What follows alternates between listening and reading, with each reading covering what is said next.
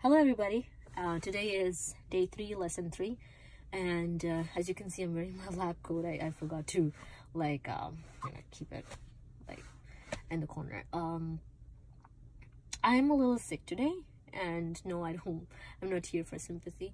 The only thing that I want to share is that I just realized that um, once you get sick it kind of transmits to others and it kind of infects others and you're contagious and um, you kind of infect people around you.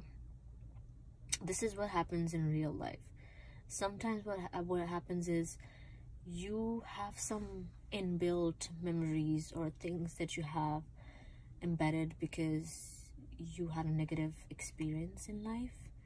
And that kind of builds that that hostility towards other and you become hostile and you become you have grudges against people and you kind of transmit that.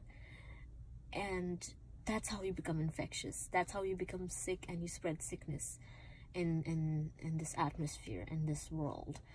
And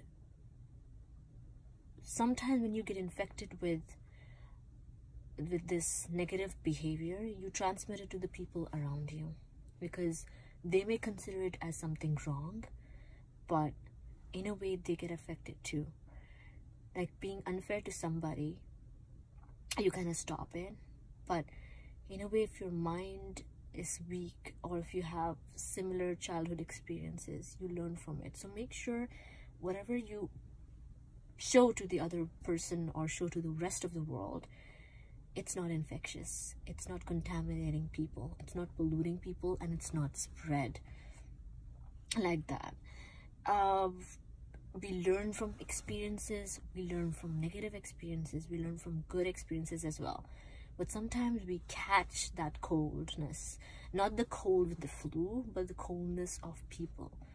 So make sure you don't get infected you don't get sick. The only sickness you can have god forbid is just a simple flu which goes away. So make sure whatever you choose in life, whatever you learn from the actions of people, you get cured of it easily, happily, and for a limited time. All the best. This is me signing off. Tuba once again. Thank you for having me.